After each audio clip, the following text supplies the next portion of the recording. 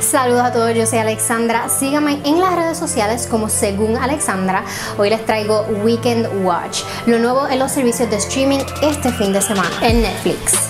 Diablero, temporada 2. Si te gusta lo supernatural como Constantine y Lucifer, más te gusta verlo en español, entonces Diablero puede que sea para ti. Un sacerdote caído, un cazador de demonios y una superhéroe moderna unen fuerzas para luchar contra el mal. En Hulu, Fighting with My Family. Si te intriga ver la versatilidad de la nominada al Oscar este año, Florence Pugh, entonces no te vas a querer perder Fighting with My Family, donde ella interpreta la ex luchadora de la WWE, Paige, junto a Lina Headey, Nick Frost y claro pues Dwayne The Rock Johnson. En Disney Plus. Diary of a Future President.